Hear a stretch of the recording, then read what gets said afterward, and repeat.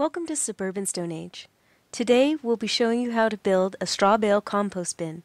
We'll be using biscuits to represent the straw bales so that you can see how to configure the bins. The most basic bin is the 4 bale compost bin. You can compost easily in a bin like this.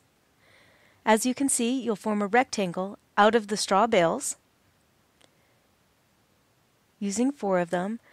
Just be sure that you keep the corners square I find that those square corners make a more stable bin, especially when they're wet or full of compost.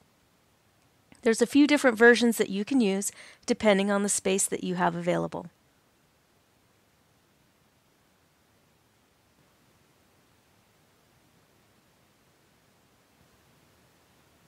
If you'd like to expand your options and create an additional bin where you can turn your compost and keep it going, you can simply add more bales.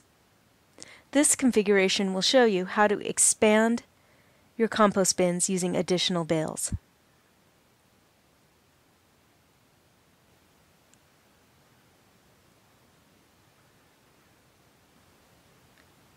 Now you have two compost bins.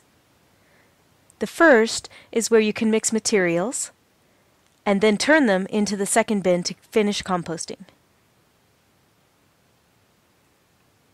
If you'd like to take it a step further, you can build a third bin using even more bales to expand out. This will allow you to store the compost, mix the first batch, and then turn it into the final bin for final composting. This is the most deluxe version that I've tried.